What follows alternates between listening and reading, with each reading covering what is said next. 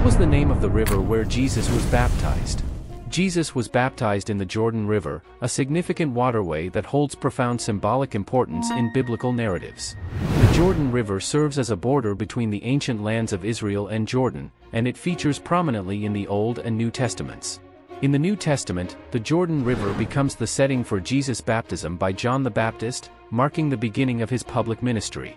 This event symbolizes Jesus' identification with humanity, his anointing by the Holy Spirit, and his commissioning for his redemptive mission.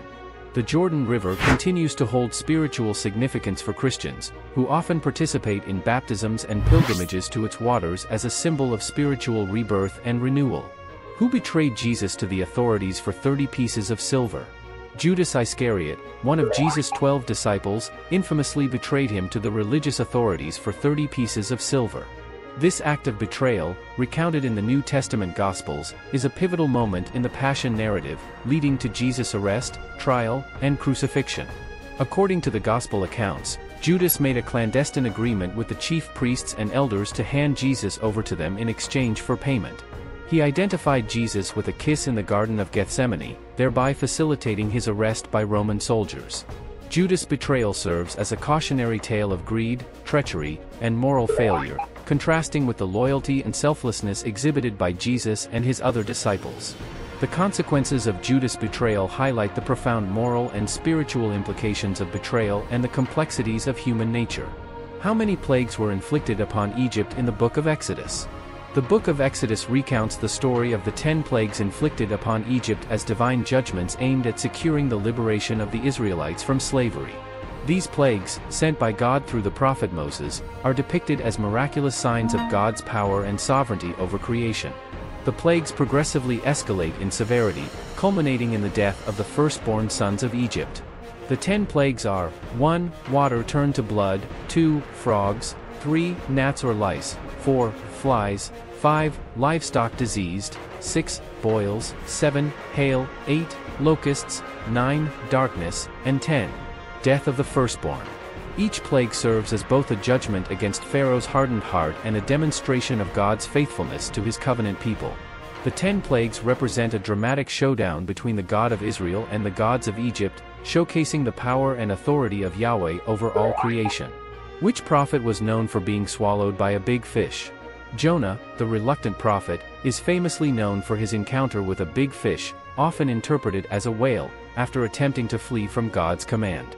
The book of Jonah, one of the minor prophets in the Old Testament, recounts the story of Jonah's disobedience, his subsequent stormy voyage, and his miraculous deliverance from the belly of the great fish. Sent by God to prophesy against the city of Nineveh, Jonah instead attempts to escape to Tarshish by boarding a ship. However, a violent storm ensues, prompting the sailors to cast lots to determine the cause of their misfortune, which ultimately leads to Jonah being thrown overboard and swallowed by a large sea creature. After three days and nights in the belly of the fish, Jonah repents and is vomited onto dry land, where he fulfills his mission to prophesy against Nineveh. Jonah's story serves as a powerful reminder of God's sovereignty, mercy, and willingness to extend grace even to the most disobedient of individuals. His experience in the belly of the fish symbolizes repentance, deliverance, and the opportunity for redemption. What was the name of the garden where Adam and Eve lived? The garden where Adam and Eve lived is commonly known as the Garden of Eden.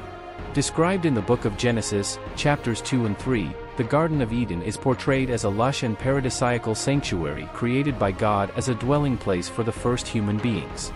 It is depicted as a place of abundance, beauty, and intimacy with God, filled with diverse vegetation, rivers, and trees, including the tree of life and the tree of the knowledge of good and evil.